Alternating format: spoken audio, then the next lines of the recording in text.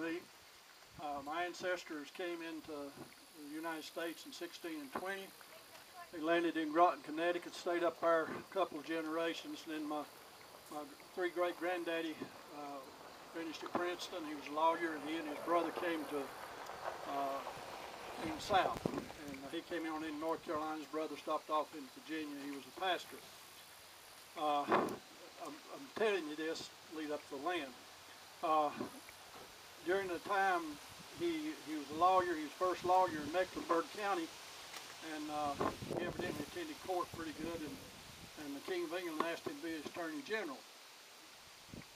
During that period of time, uh, he was that for several years, and then he wrote the Mecklenburg Declaration of Independence, which is the first independence that was written. Of course, that severed all relationships with the King of England. And put, sort of put him on the hit list. Uh, after we sent him back to England, uh, he, he was the first Attorney General in North Carolina. But during that time, he got quite a few land grants and bought a lot of land in the mountains, which was basically wilderness at that time. The land you're standing on is some of that land. We've had it since since that time. Uh, uh, I hate what we did to the Indians, but I'm glad I'm here. And uh, so I trust that the Lord let me live here till till it be here as long as I'm here. Uh, farming is a hard way to make a living. And uh, when we started the tree business uh, quite a few years ago, we had tour after tour on trees. We was trying to teach everybody how to grow trees because for such a long time it was only cabbage, beans, and beef cattle. We were beef cattle. My daddy was a miner. Uh, I lived underground till I was about 14. I, I loved being underground. My brother didn't. He wanted to be outside. He wanted to be on the farm. But I, I loved being underground. And uh, my daddy told me, he said, well, son, the reason the mica program went out is so you could go on to college. And because he said if it hadn't, you would never left home. So we got some mines back up here at mica, and that's what fed us for years. The farm was uh, beef cattle and grain. Then we got into the tree business. That's that's still my livelihood, Christmas trees. But we're not here, I don't think, to talk about trees, but I want to tell you that it's, it's been a, a lifesaver to Avery County, I think.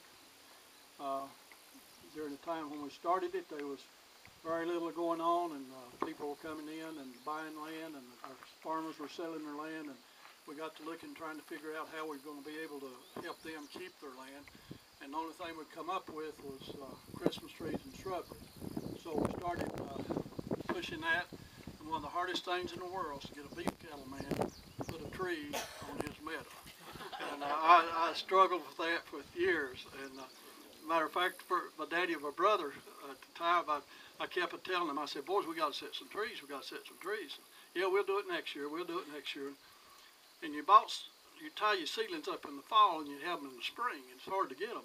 Well, I went ahead and bought a bunch of seedlings. And uh, Daddy and Judge was, my brother were going to cattle sale and they got ready to leave up the house. I was raised in a log house where we would be eating. And uh, he, uh, I said to Daddy as they pulled out, I caught him in a weak moment. I said, Dad, I said, why don't we set that field out there in trees? And he said, well, son, that sounds like a good idea. I said, "Well, we'll talk about it. Well, boy, they hadn't been across the river until I hooked up a tractor. When they come back, I had that whole side set. He liked to die, but that started us in the tree business. But it doesn't matter uh, what crop you grow or uh, what item you produce, no matter how good it is. If you don't have a market, you don't have anything. And uh, times have changed, and Christmas trees is going through a rough period. It's going to be over with in a couple of years. I don't mean the tree business to be over with. There's going to be a lot of people out of it. But uh, the market's uh, in a hard time right now, so uh, a lot of us are looking at some other ways to supplement our income. And today we're going to look at some raspberries and blackberries, and and Jerry's going to talk a little bit about the hops. I'm not